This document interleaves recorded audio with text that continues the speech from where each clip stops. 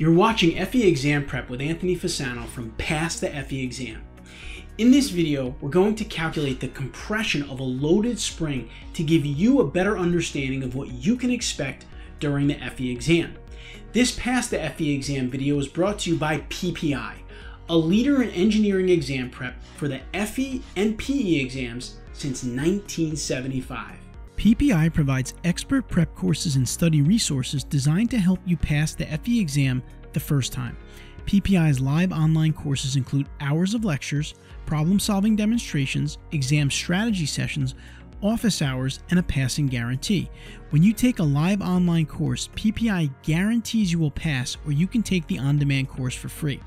With study guides, practice exams, and more, the PPI Learning Hub offers digital practice and review that you can take with you anywhere you have a device so that you can prepare during the times most convenient for you.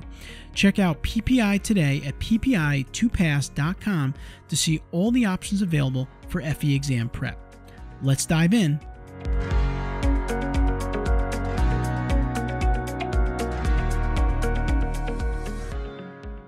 This week's problem was created and solved by Enrique Ivers, an engineer in training. Enrique, take it away. You can count on seeing a spring constant problem or two during the FE exam. In this example, we're going to calculate the maximum compression of a loaded spring. The problem reads, a disk with a mass of 1 kilogram, a diameter of 10 centimeters, and a width of 5 centimeters is placed on edge at the top of an inclined ramp 1 meter high. The ramp is inclined at 15 degrees. At the bottom of the ramp is a spring whose spring constant is 2000 newtons per meter. The disc rolls down the ramp and compresses the spring while coming to a complete stop. What is the maximum compression of the spring? Our answer options are A, 4.5 centimeters, B, 9.9 centimeters, C, 12.2 centimeters, or D, 15.0 centimeters.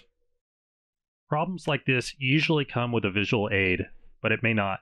If it doesn't, it may benefit you to sketch one. We note that the disk's height is 1 meter. The only force exerted on the disk is gravity. Therefore, at the top of the ramp, all energy is gravitational potential energy. After sliding down the ramp and fully compressing the spring at the bottom, all energy is spring potential energy, Therefore, mass and height are the only variables that impact the amount of energy. We can search the FE handbook for a number of keywords. When we search for spring, we find the following equations on page 120 within the dynamics section. As we identified prior, all energy is gravity field potential energy when the disk is at the top of the ramp. We see that this is given by equation V equals mgh. After the disk slides down the ramp at the spring's maximum compression, all energy is elastic potential energy given by the equation V equals 1 half Ks squared.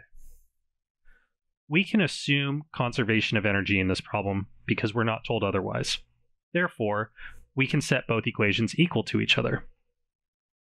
We isolate unknown variable s with the intent to solve we substitute in our values 1 kilogram for mass, m, 9.81 meters per second squared for gravity, g, 1 meter for height, h, and 2000 newtons per meter for the spring constant, k. We then find that S, the maximum compression of the spring, is equal to 0.099 meters, or 9.9 centimeters. Going back to our list of possible answers, we see that this is answer B and choose it accordingly.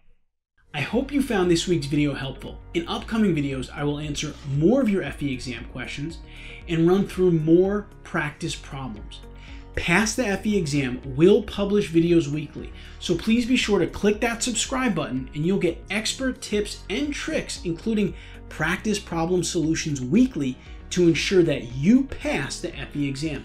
And please, I encourage you to ask questions in the comments below that I will read and respond to in future videos.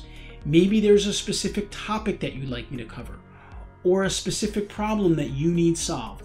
Pass the FE exam, we'll have you covered. I'll see you next week on Pass the FE exam.